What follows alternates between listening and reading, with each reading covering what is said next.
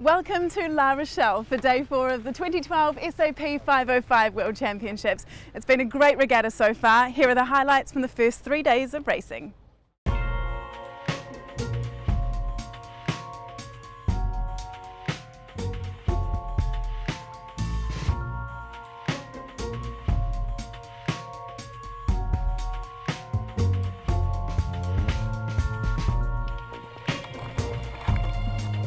The German teams had the best start to the regatta, making the most of a strong sea breeze. Kellner and Scholler have had a consistent week with three second placings, and they lead by 10 points. The Flying Danes Salmon and Gorge had a superb day three, which catapulted them into second overall. After five races, six German teams occupy the top 10 spots on the leaderboard. The reigning world champions Hunger and Kleiner are currently in seventh. Very mixed regatta for us with a couple of uh, good results and uh, a couple of um, races where we had bad luck. There are other boats that are clearly uh, ahead of us and we just try to, to make the best of every single race. We're not the fastest boat in every condition but we're able to have a decent speed at every condition.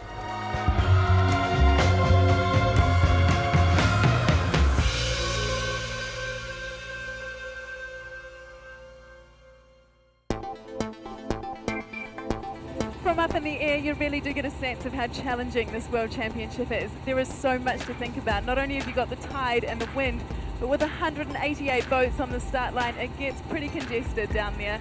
If you don't get off to a good start, you really are making life difficult for yourself for the rest of the race. And in today's light conditions, the trick was to start early on the left-hand side. Loyal and Nevo from France had a breakaway moment on the first beat when they found good pressure on the right. By the top mark, they were 100 metres ahead of the chasing boat, Conrads and Haynes from the United States.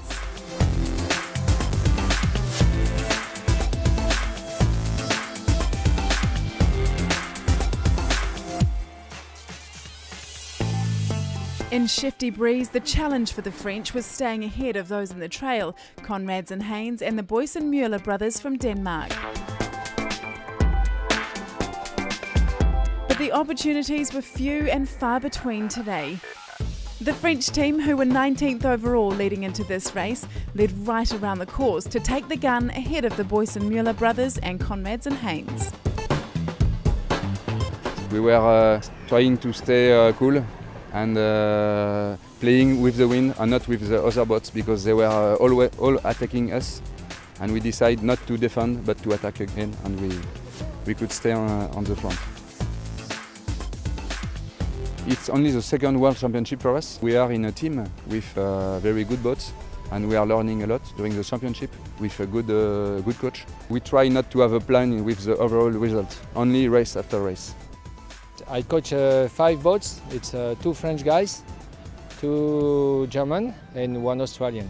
Normally, I, I, coach the 470 in the National Center of La Rochelle. I know the system of the wind, and I think I can help them, but, but they can do many things themselves. It's them who, who sail, not me.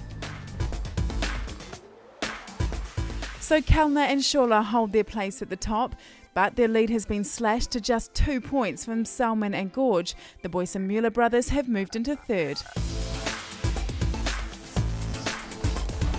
Tomorrow is the penultimate day and light sea breezes forecast again. Can the Germans stick it out at the top or will the Danish topple them at the final hurdle? For all the info on watching live, tap on to sap505worlds.com.